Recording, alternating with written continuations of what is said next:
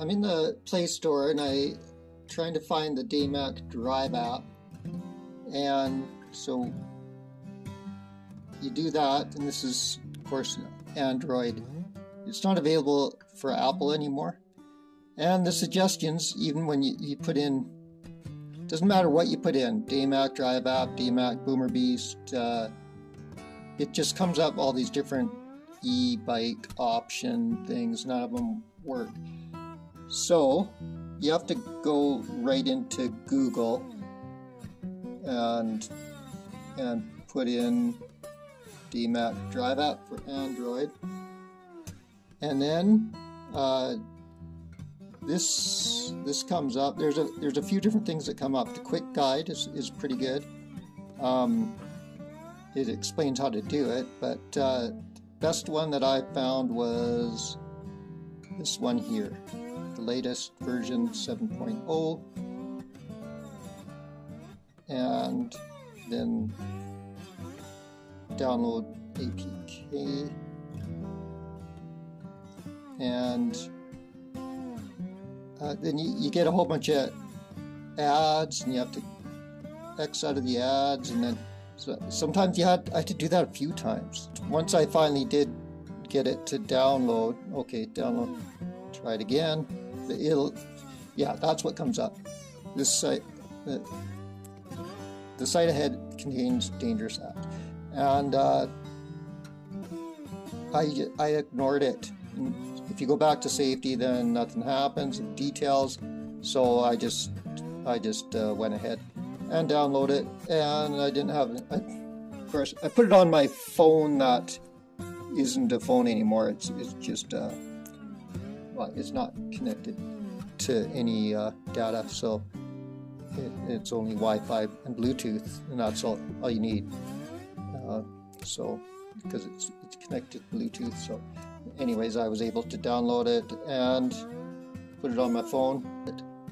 I was able to download it on my Android phone, both of them. I, have two. I'll go outside. You have to have the key turned on to, to go through the menu.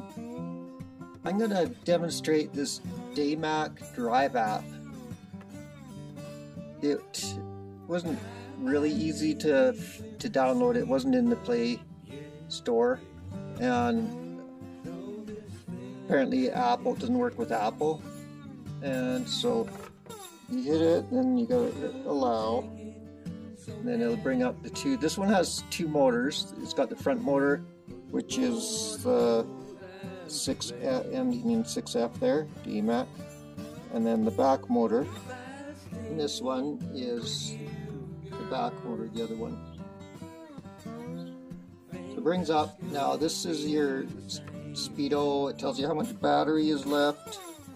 It's uh, about three quarters.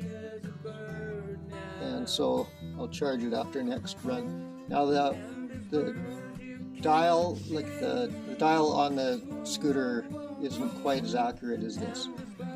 I've noticed for the speed and the and the battery. So you can go you go to settings, you hit the setting button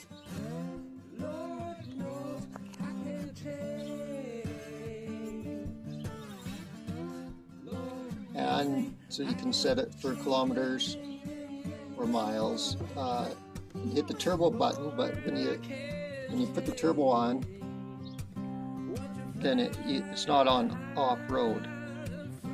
And uh, but uh, and I, I find off road is a lot better for bottom end torque. And so then at first I thought, well, there's not very many settings, but you, you go up. So you hit high acceleration, low acceleration. So if you want more bottom end, you uh, take that all the way down. Or I wouldn't go all the way down, but uh, then you have more bottom end acceleration. And so the it'll accelerate slower, slower at the high end, but uh, that I kind of like that better. It has more torque. Now this if you have them both all the way up, the high acceleration will override the, the other one. And then reverse speed limit. Uh, I got it at 24%. You could even go lower than that. um, it, it's pretty funky if you're trying to back up in high speeds.